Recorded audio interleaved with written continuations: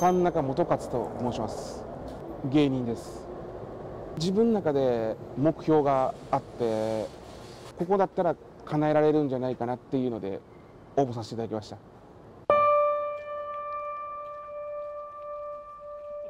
何のためにこのバルクハウスに来たのかを言ってもらおうか。あの僕は吉本で芸人やらせてもらってましてそこでヒーロー芸人っていう形で自分のオリジナルのヒーローを作れましていろいろ活動していきたいなと思ってるんですけどやっぱりヒーローに変身する人で太ってる人はいないなるほど。と思うので、うん。今回ダイエットでこの企画に参加させていただきました。ではこの企画が終わる3ヶ月後までに見違えるような体になりたいということでいいかな？はいお願いします。わかりました。昔番組の企画でダイエットみたいなのをやったことがあって20キロぐらい落としたことがあったんですよ。でその時もう本当に地獄のように辛くてでもそれが終わって東京に帰ってきて初めてご飯食べた時に涙出たんですよね。あまりにも美味しすぎて。でそこからもうめちゃくちゃ食べるようになっちゃって気がつけばもうリバウンド以上になってしまってたっていう感じですね今116キロなんで100キロ切れたら嬉しいなっていうのはあるんですけど。やっぱりどうしてもその逃げてしまった姿っていうのが結構いろんな人イメージが強いと思うんですそこもなんですよね。だからヒーロー芸人ですっていうとやっぱり子供とかもやっぱりヒーローに憧れてるヒーロー大好きな子いっぱいいるんでそれを大好きって言ってる人間がやっぱ逃げてるっていうイメージはやっぱりダメなんで逃げたりはもうしないです。はい。どういうヒーロー？憧れのヒーロー像ですか？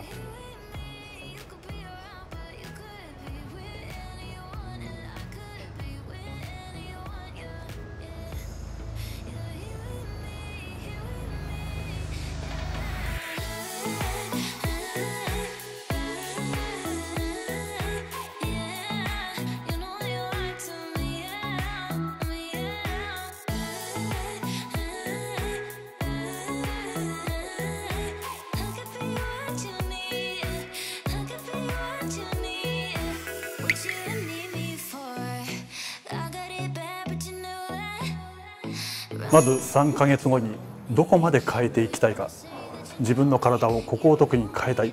そうした具体的な目標があったら話してください。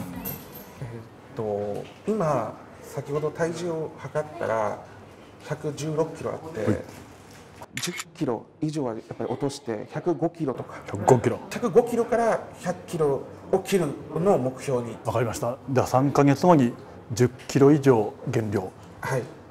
そのためにやるべきこととしては大事なのはまず食事。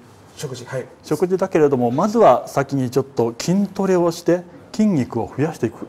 それも大事になります。はい。筋肉が増えていかないとせっかくダイエットしても筋肉が落ちていくとリバウンドしやすい体になってしまう。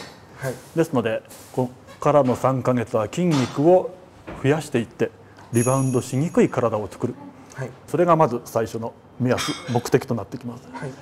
ではまず筋トレ一番大事なものとしては足の筋肉を鍛える。それが大事。足。はい。ただ普通にスクワットをやるよりは今体重が重いので逆にそれを利用していきます。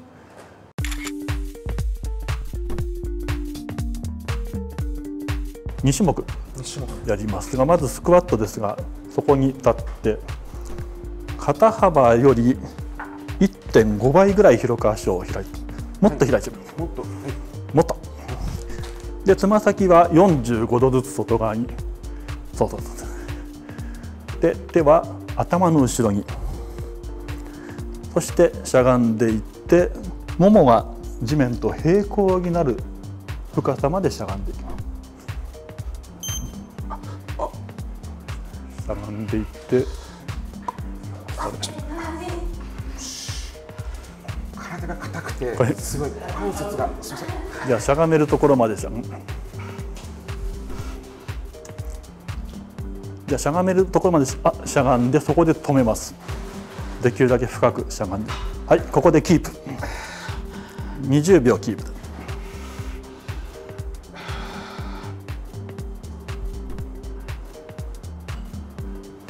10 15 6 7 8 9はい OK 今日は20秒キープ。明日は21秒キープ。そのようにしていってできるだけ深く下ろしてそこでキープできる重量を毎日少しずつ増やしていく。1日1秒目安です1日1秒ずつ増やしていく。つまり1ヶ月後は30秒増えるので1ヶ月後に50秒キープできる。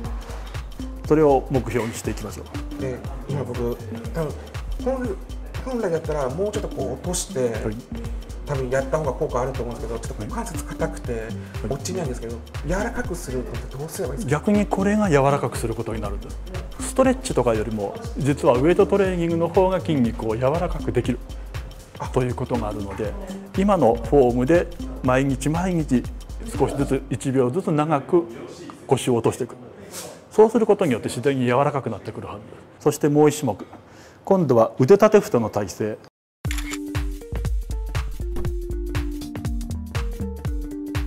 ここに手をこうしてつま先あ指先を外側に向けて、こうですか？はい、指先外側。で肩幅よりもっと広くなっていたはいこの幅で、はい、腕立て伏せの体勢膝を浮かせます。はいこれもキープ。20秒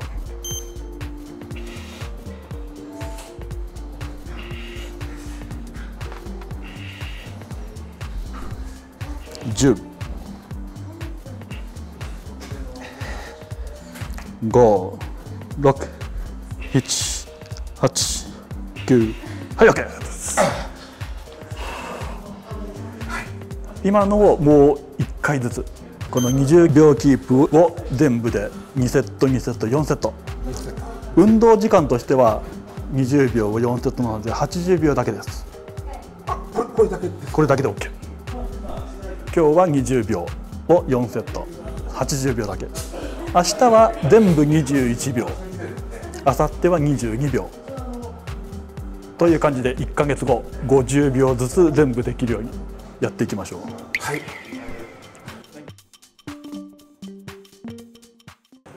それ以外に食事とかってどうすればいいですか、食事は今どんなメニューでしょう？1日の食事内容大体基本は今そのバイト先のまかないで夜一食でもうドカ食いしちゃうみたいな感じの生活なんですよ。朝昼はまあちょっと食べてもパンぐらいとか菓子パンとかだけ食べてで一食ですごいドンって食べちゃう感じですね。1日1食実はとてもいいんです。あいいんですか？1日1食で他の時間を空腹にする。それはか健康にもいいそしてダイエットにもいい。ただその1食を何を食べるか。この時にご飯をいっぱい食べるのではなくて肉をいっぱい食べる。えじゃあもうご飯を一切食べずにお肉だけの方がいいそれで OK むしろそうしてほしいです。鶏のささみとか茹でたやつとか、はい。コンビニに売ってあるようなサラダだけしか食べちゃダメって言われるのかなと思ったんですけど、お肉をそんだけ食べてもいいんですか？そのささみだけっていうのが一番ダメなやりやり方。なぜかというと人間の体というのは糖質か脂肪のどちらかをエネルギーにするようにできてます。でささみというのは糖質も脂肪もない。タンパク質だけ。それを食べても筋肉が落ちるだけ。なのでステーキをいっぱい食べて糖質は取らないで脂肪をちゃんと取る。脂肪をエネルギーにする。あとコーヒーは大丈夫ですか？あ僕うん苦手なんです。コーヒー苦手。でも飲んだ方がいいんですか？朝はコーヒーにバターをちょっと入れて。えバターいいんですか？バターコーヒーって聞いたことありますか？いやないです。コーヒーにバターを、まあ、スプーン一すくい入れて溶かしてそれを朝2杯飲んでください。2杯？それを2杯で。それでもう一日中夕飯まであんまりお腹空かないはず。えそれはなんでなんですか？それは脂肪を体がエネルギーにできるようになってるんですそうするとご飯を食べると逆にお腹が空いちゃう。これは血糖値が上がったり下がったりするからなんですね。でもコーヒーバターだと血糖値が安定します。そうすると食欲増えないのでバターコーヒーステーキ1ヶ月続けるだけで3キロは絶対落ちるはずです。3キロ、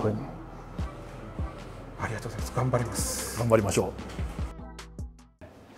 いや朝はい毎朝絶対お菓子を食べるらしいんですよ。へえまあそれ不健康ですね。だから朝朝からあの片揚げポテト一袋食べちゃうんですよ。でもそれが朝ごはんで。がもう朝ごはんもうそれ食べながらメイクしてるみたいな。いもうそれがルーティンです。じゃあやでも僕も夜は絶対に甘いもの食べないと寝れなかったんですよ、シュークリームとか。でもそれはもうダイエットのメニューで、ん。やらない方がいいって言われたんでそうですねあのお肉はでもびっくりしたのが、お肉いくらでも食べていいって言われたんですよ。え例えば500でも600でも食べていいって、その代わりご飯を一切抜くみたいな、はいはいはい。あともう一個言われたのが朝、バターコーヒー飲む。バターコーヒー。え飲んだことあります？バターコーヒー飲んでくなりますよ。いや朝なんかバターコーヒーいいらしいですよ。バターコーヒーって何ですか？コーヒーホットコーヒー飲めますコーヒー飲めないです。あやっぱ僕もどっちょいコーヒー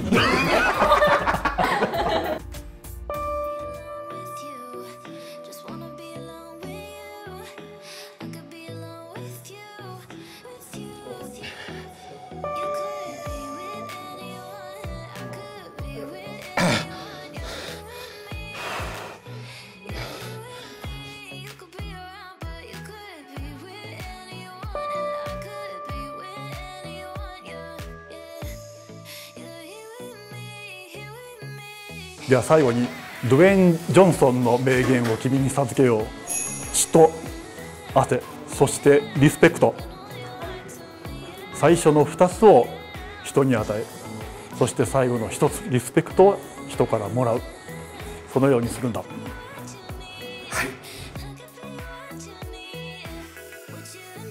僕自身が求めている体ではないですまだいけますってずっと自分の中で思いながらトレーニングしてます。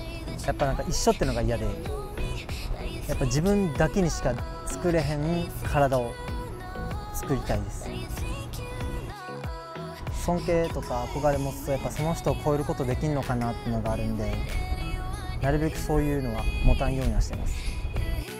唯一無二の世界に通用する俳優になります。